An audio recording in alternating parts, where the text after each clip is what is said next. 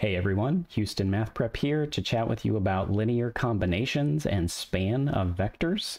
We're going to begin in two-dimensional space and focus on explaining the basics in 2D and 3D space in the video, though a lot of what we cover will apply to spaces that are a higher number of dimensions. But for now, let's start in 2D space, or what is sometimes called R2. So everybody, this is R2, R2, this is everybody. We can think of R2 as our xy plane from basic algebra. We should know how to scale a vector from our last video, multiply the vector by a real number in this case. I've got a vector v, which is the vector 3, comma 2. I've also written it in its column vector form, and I've graphed it in R2 as well. So our question over here asks us, is it possible to scale this vector so that it points to the point 9 comma negative 8.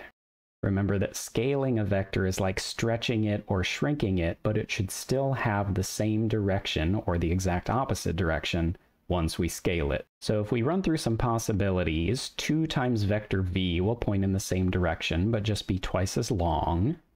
Scaling vector v by a factor of 3 again just makes it longer still in the same direction. Using a negative multiple of vector v gives us a vector that points in the opposite direction and changing to any negative scalar only changes its length in that opposite direction. So I think we would all agree that no, there's no way to scale vector v so that it points to 9 comma negative 8. The reason being that the vector 9 comma negative 8 is not a multiple of the vector 3 comma 2. We can't multiply 3 comma 2 by any real number and get 9 comma negative 8. If we want to talk about all possible scalar multiples of this vector v, then we have a notation that looks like it reads span v with our vector v here in curly brackets. We call this the span of v, or the subset of R2 spanned by v, and it's the line in R2 through the origin that is in the direction of vector v we want to make a brief mention that the zero vector, the vector that is 0 times vector v, in other words, the vector 0, comma 0, also fits on this line since it starts at the origin and goes nowhere. Let's take a look at a different vector now. Here we've got a new vector w that is 1, comma negative 4. And I think we can look at this image here and answer the question pretty easily. Which of the following is in the span of vector w. We can even label these just in case, but if we extend a line forever forward and backward in the direction of vector w, we can see that the vector negative 2 comma 8 is in the span of w, but the other vector 9 comma negative 8 is not. You might have been able to tell without this picture since this vector in the span of w here is actually negative 2 times vector w, so our lonely vector down here, 9 comma negative 8, has been neither in the span of v nor in the span of w so far.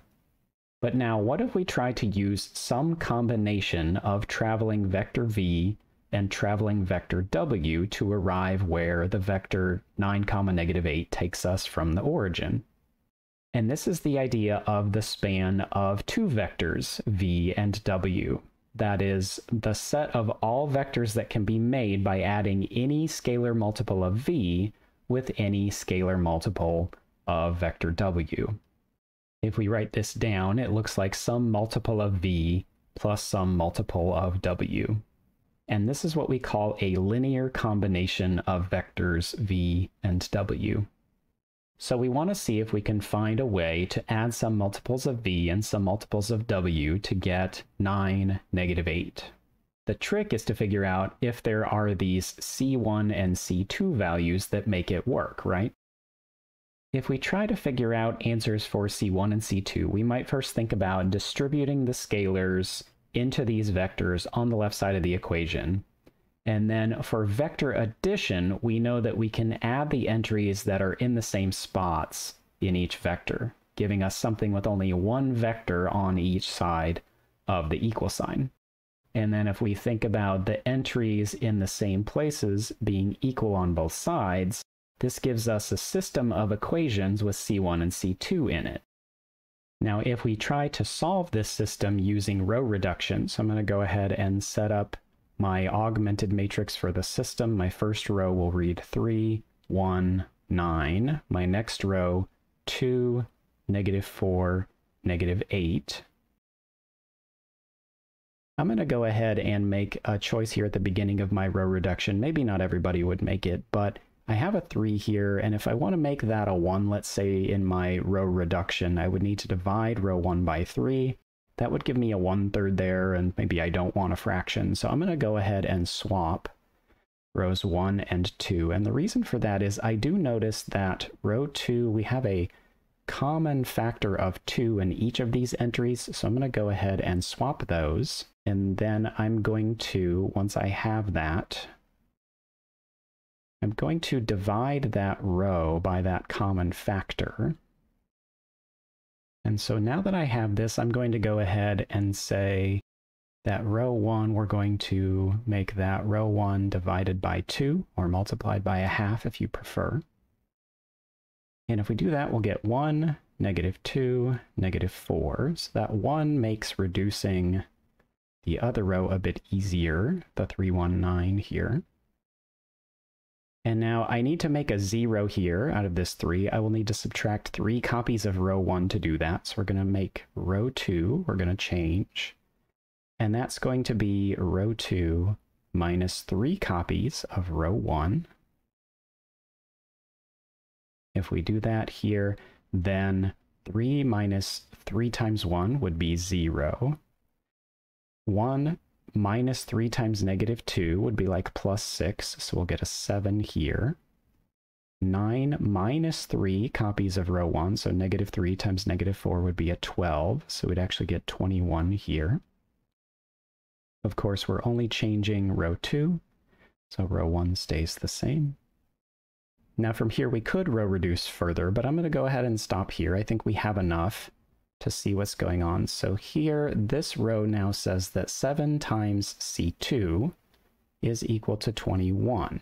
And so dividing both sides would tell me that C2, the solution for that is 3. And now if I take that C2 value of 3 and use it in this row, this says C1 minus 2C2, but we already know that C2 is 3 equals negative 4. So we get that c1 minus 6 is equal to negative 4, and adding 6 to both sides, of course, tells us that c1 is equal to 2. So we get a solution of c1 equals 2 and c2 equals 3. So we know the scalar multiples of each vector, v and w, that we need to add those together to give us 9, negative 8. So we found that 2 times vector v plus 3 times vector w gives us a result of 9, negative 8. We can show this visually by putting two copies of v end to end, and at that point continue with the path that w gives us three times in a row, and we see that we arrive at the same endpoint as the vector 9, negative 8.